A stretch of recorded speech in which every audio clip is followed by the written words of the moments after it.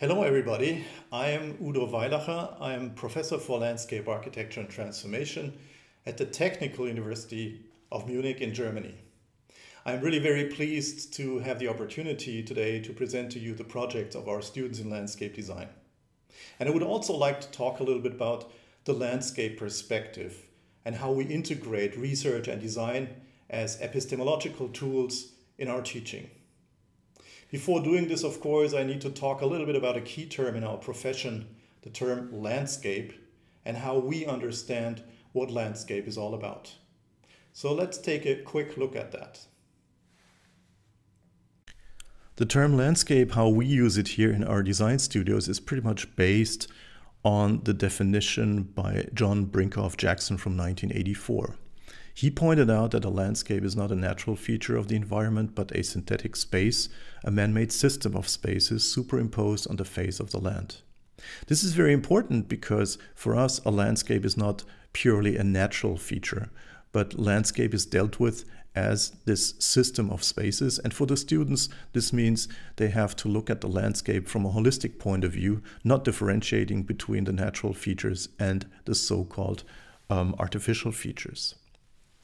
Just to show you a little bit what the core competences in landscape architecture are here at TUM, I have the honor and pleasure to cooperate with professors like Regine Keller, Sören Schöbel, and Ferdinand Ludwig, um, and they are dealing with open spaces, regional spaces, and green technologies, which means the students have the opportunity to choose from all these different aspects, and this is responsible for the profile of the education of our students here. The students have the opportunity to study here in the Bachelor of Science. This is an eight semester program with an uh, obligatory international semester abroad in the fifth semester. We're trying to make our students fit for international cooperation. That's why they have to do an external international internship. After eight semesters and doing their bachelor thesis, they can continue with the Master of Arts. In the Master of Arts, 50% of the program is dominated by the studio works, and this is obligatory. But the rest of the program, the students are very free to choose from a broad variety of subjects to sort of develop their own specific profile. For external international students, the program is um, four semesters. Now, looking at the characteristics of my chair of landscape architecture and transformation, we essentially deal with uh, following aspects. We're dealing with the transformation of industrial landscapes, for example, alpine industrial landscapes, but actually these days we're dealing with the transformation of all kinds of different landscapes. So we're not focusing on industrial landscapes alone. We're also dealing with history and theory of landscape architecture because I strongly believe that this knowledge is essential for uh, future landscape architecture performance. And we're also dealing with the interface between landscape architecture and the visual arts, because the art approach in landscape architecture is creating a kind of knowledge which is absolutely essential for the new development of landscape architecture. Now this is very interesting here because it shows the program at my chair of landscape architecture and transformation and it shows a little bit how we link teaching and research activities. Very roughly in the red box, you can see all our teaching activities, which are studios in the bachelor and the master, seminars, lectures, and we also have a model shop. In the blue box, you can see the research activities composed of publications, dissertations, and all kinds of corporations. Now, the teaching is not only the studio teaching, it's not only freehand drawing and sketch problems, but we're also doing something like the so-called scientific writing lab because scientific writing for the students is not only important for developing their profile for later academic career, but writing also is a great tool to teach design strategies and logic design concept, concepts. Of course, there's also lectures on theory and history of landscape architecture because this is the basis for successful design.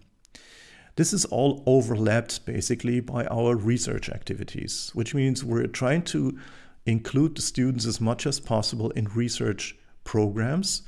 Um, so the students have the opportunity to see how research is running. They also have the opportunity to actually participate in research activities and gain very important knowledge for their future career.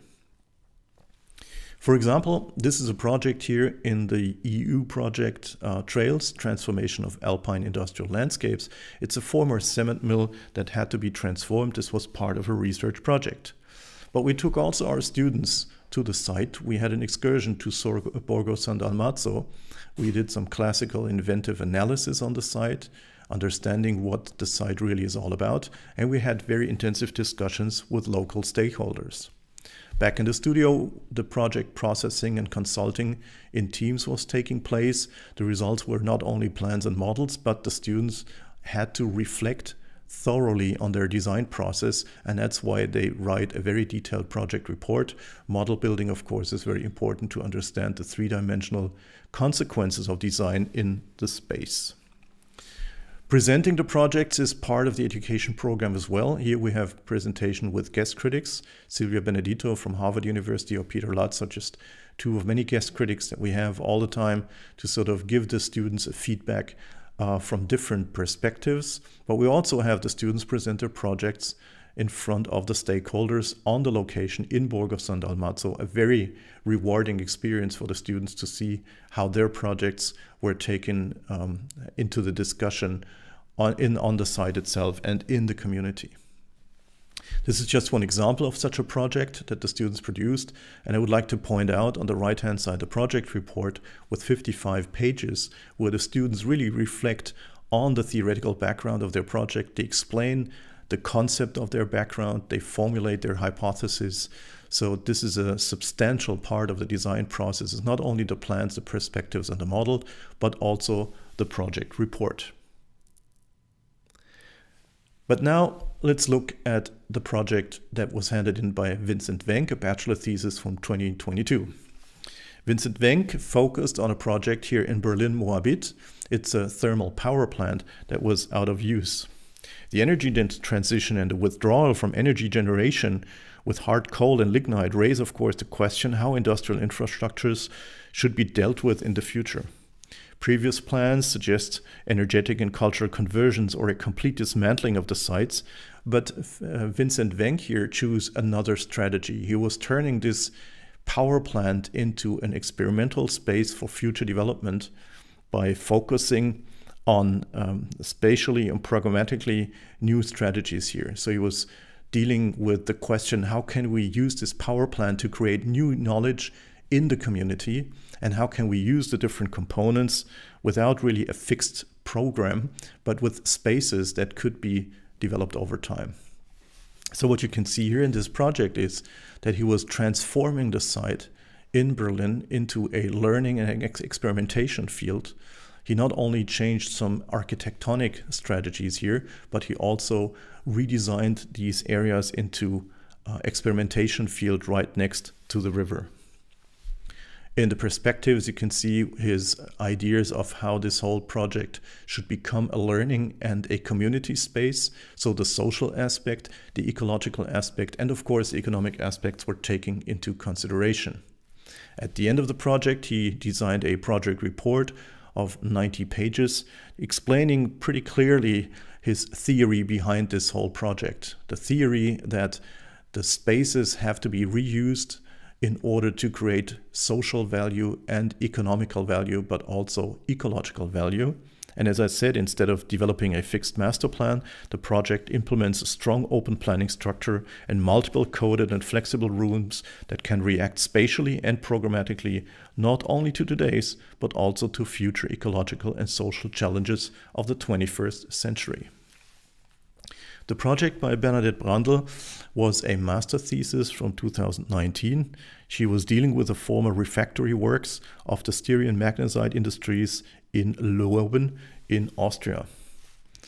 The traditional strategy is to tear down these old industrial sites. We're in the middle of the Alps, right next to uh, a wonderful river landscape. And the idea was to transform this place into a social development project, a project that can grow over time, a project that is not only dealing with nice images, but also converts the former um, uh, site into a community center, which will add social value to the uh, community here. What you can see here is how the student converted not only the trails along the uh, and the rails along the uh, site right next to the Mur River, but um, what's more important as a background of the project is the fact that she transformed the spaces into really a community space which will be extremely valuable for the future development of the city of Leoben. So we have like market activities, we have social activities, you know, there's orchard for fruit growing, there are meadows, walking and cycling activities that can happen here. And it shows that the student has a very great understanding of this landscape idea, a landscape as a system of spaces. So, so she, of course, uh, combined the spaces of the interior program with the exterior program and produced a 137 uh, uh, pages project report where she very clearly focused on her research approach on the site and showed her capabilities of scientific approach to these complex problems. Another very complex problem was uh, the project that Xiaojian Li dealt with. She's currently a PhD student at the TUM, and she actually is doing in her PhD exactly the same work or enlarging the work that she did in her project here for this uh, Breaking the Island, a project in Karlskrona in Sweden. In Karlskrona in Sweden, um, the idea was, or the problem was, the project was that it uh, there was a former oil harbor in Karlskrona, and this oil harbor had to be sort of redeveloped again. And you can see here how the student focused really on the question: How did the landscape develop over the history of time? How do we deal with the sea level water rise questions? and how can we redevelop the site to become something of ecological, economical, and social value. Um, she also formulated what you can see here on the right hand side a hypothesis. This is pretty typical for our students that they have to formulate a hypothesis and sort of stating what a possible solution for the site will be. Hypothesis is a strategy that's also used in research, and that's why we spent quite an energy on this kind of uh, approach. And she was also dealing with the theory of structuralism. So you can see that this is a research based approach and not only a design project that is producing formal answers to spatial questions. You can see here the design principles that she was dealing with. Um, and she developed a project which is really um, very, very interesting from different points of view, especially from the question of climate adaptation. Again, she also published a project report with 123 pages discussing the theories that she was dealing with and uh, pointing out the future uh, possibilities for the site. The last project I'd like to show you is by Amy Neff um, in uh, South Africa. Amy was dealing with a complex situation here at uh, the shoreline near Knysna in South Africa. You can see it's a very, very complex situation of estuaries and water bodies. And uh, the development of the town was not really in tune with the environmental situation. So the student not only was dealing with urban planning and landscape design, but she also was asking herself, how can we integrate this whole project into a more complex and process oriented strategy? Again, she formulated um, hypothesis for this project. She was developing a strategy to deal with the climate change effects, sea level water rise. So she redesigned the whole site. She sort of drew back the harbor area and she made sure that there is a close interconnection between ecological, social, and economic values in this kind of project. Some details show very clearly how she's trying to reorganize not only the functional aspect but also the ecological aspects on the right hand side. And it was, of course, also her duty to produce a project report. And in this project report, she really very clearly um, defines how complex this project is. She shows very clearly her landscape based strategy to design a resilient future for Knysna shoreline. Well, if we look at the epistemological methods and tool in design teaching, I'd like to point out a few points. I will not touch on all of them because we don't have that much time. But number one, it's very important for us to, uh, to, to couple the research and initiatives and the design project and to create synergies. We also combine in our teaching classical, scientific, and creative inventive analysis methods to give the students a broad view of what their environment is all about. Very important for this approach is critical reflection. Critical reflection of, for example, generated analysis data and classical research strategies. The students have to formulate and permanently question the design hypothesis based on problems first. So tell me what the problem is, and then begin with your design um, but the problem has to be formulated very, very clearly. Hypothesis-based co-design process in interdisciplinary and international groups is very important for this kind of crossover activities. Of course, we focus on landscape-based design approach, and we consider the urban landscape just a well, a special type of landscape. So actually our students are dealing in the same way they deal with the natural landscape, also with urban landscape. And urban and landscape design is sort of melting together. You might want to call this a um, landscape design that is um, a little bit based on landscape or urbanism. We have an emphasis on process-oriented design strategies to solve complex problems. So it's not so much about the product, but it's about the process, which is of course difficult to show on the plans actually, but it's described very nicely in the reports that I just uh, touched at. We want our students to critically reflect on the design generated knowledge, which means research through design is for us something very important because we strongly believe that by design we create a kind of knowledge which cannot be created with the strategic or the classical methods in research. The theory-driven critical reflection of design solutions is also pointed out in written reports. And last not least, the critical evaluation of design solutions by practitioners and researchers and a kind of a quality management is an important point for our teaching here at the Technical University of Munich. This is how we try, in a nutshell, to make our students fit for the future. Well, at the end of this tour, I hope you got a little bit more curious about how we teach landscape architecture at the Technical University of Munich. If you should have any questions, please feel free to contact me anytime. But I hope you understood how important it is for us to integrate research and design as really important epistemological tools in teaching and how we sort of try to make the students fit for the future because this future is for them, for all of us, quite a challenge.